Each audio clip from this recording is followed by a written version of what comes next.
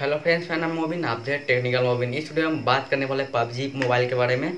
ठीक है? तो इसमें आपको सेटिंग करना होता है जिसमें आपको मतलब जो फायर करने का ऑप्शन मिलता है, उसको आप छोटा रहता है तो आप मतलब बड़ा करना चाहते हैं या बड़ा जाते तो आप उसको छोटा करना चाहते हैं तो इस वीडियो में बात करने वाले हैं।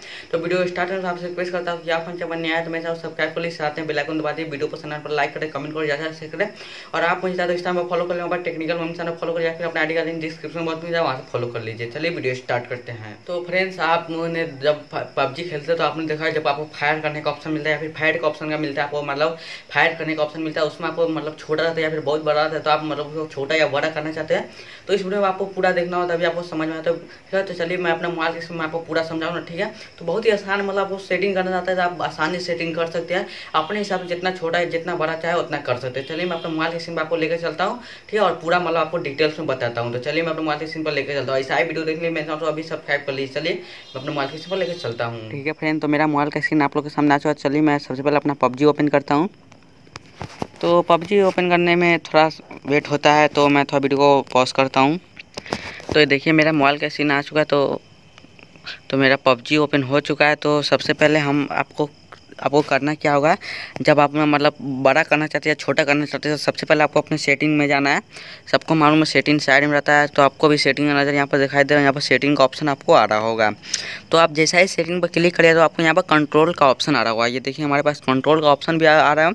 तो आप इस पर क्लिक करिए। यहाँ पर जैसा ही क्लिक करिए तो आपको सामने यहाँ पर तीन ऑप्शन आएँगे। यहाँ पर देखिए, यहाँ पर आपको मतलब जिस तरह अपना खेलना चाहते हैं, वहाँ पर आपको सिलेक्ट करना जैसे मैं फ़र्स्ट वाला में सिलेक्ट किया हूँ, फिर उसके बाद आपको मतलब कस्टमाइज पर आपको ऑप्शन पर क्लिक करना है। नीचे आपको कस्टमाइज का ऑप्शन आ रहा है।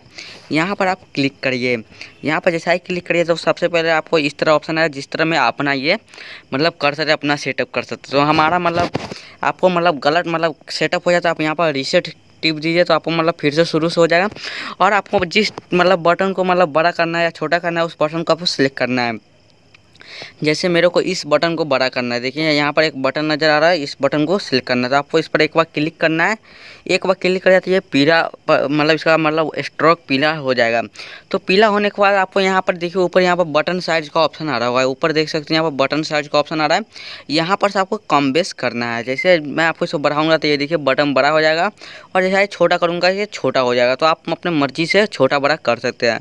ठीक है? और यहाँ पर जिस बटन को चाहे उस बटन को सिलेक्ट करें। जैसे मैं इसको सिलेक्ट करता हूँ यहाँ से बड़ा छोटा कर सकते हैं। देखिए ठीक है? तो यहाँ से आप कोई भी बटन को सिलेक्ट कर लीजिए, आपको मतलब जितना हिसाब से रखना चाहते हो उतना पर रखिए, ठीक है? और यहाँ से छोटा बड़ा कर लीजिए, ठीक है? तो आप अपने यहाँ से छोटा बड़ा करके अपना मतलब सिस्टम मतलब खेलने में और भी इम्प्रूव कर सकते हैं।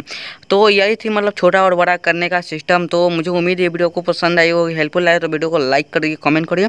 और आप हमारे चैनल पर नया आए थे मेरे चैनल सब्सक्राइब कर लीजिए, साथ ही बेलाइकन दबा दीजिए। वीडियो को पसंद आने पर लाइक करें कमेंट करें और आप मुझे इस टाइम पर फॉलो करिए। चलिए, मैं अपना वीडियो समाप्त करता हूँ। जब जय हिंद, जय भारत।